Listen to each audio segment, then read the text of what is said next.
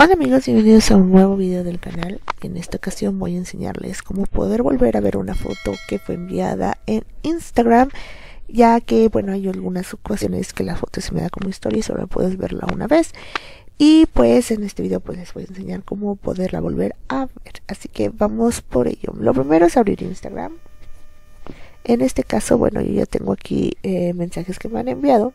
Y bueno, como les mencionaba, hay dos tipos de formas de enviar fotos, como esta que puedes verlas todas las veces que quieras, no hay problema, las puedes descargar, etcétera. Pero hay ocasiones, ahorita no voy a presionar, pero hay otras ocasiones en que envía la foto de esta manera, que dice ver foto. Y pues si le das clic y la vuelves a cerrar, ya no la vas a volver a poder ver.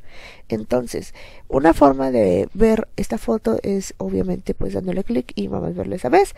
Y la otra, que es la que yo les voy a enseñar para volverla a ver, es tomándole una captura de pantalla.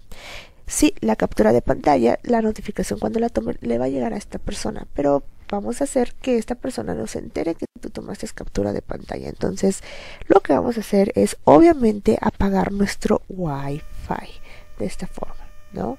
O sea, una vez, vamos a abrir primero la foto, una vez que tengamos la foto abierta, vamos a apagar nuestro Wi-Fi y vamos a tomar la captura de pantalla. ¿Para qué? Para que podamos volver a ver la foto cuantas veces queramos y que esta persona no se entere de que hemos tomado una captura de pantalla. Así que vamos a hacer lo siguiente. Vamos a abrir la foto. Ok, una vez que esté aquí, yo voy a presionar el centro de la foto y eh, de esta forma pues eh, vamos a tomar la captura de pantalla. Voy a bajar el menú de aquí, voy a apagar el wifi y voy a tomar la captura de pantalla. En este caso mi teléfono lo tiene en, la parte del de, eh, menú de arriba entonces lo que vamos a hacer es hacer esto y tomar una captura de pantalla. Vieron y de esta forma la persona no se va a enterar de que tomaste una captura porque pues no hay datos, no hay wifi, eso es muy importante, si en caso de que tengan datos de celular pues también apaguen-los para que pues no les llegue la notificación.